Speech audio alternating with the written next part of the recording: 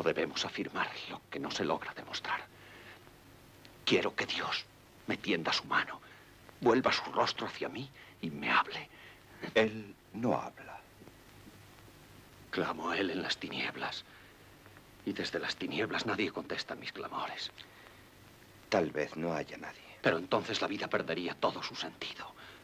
Nadie puede vivir mirando a la muerte y sabiendo que camina hacia la nada. La mayor parte de los hombres no piensa ni en la muerte ni en la nada. Pero un día llegan al borde de la vida y tienen que enfrentarse a las tinieblas. Sí.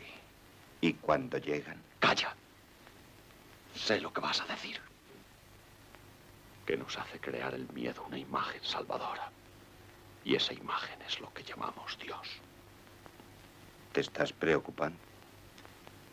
Hoy ha venido a buscarme la muerte. Estamos jugando una partida de ajedrez.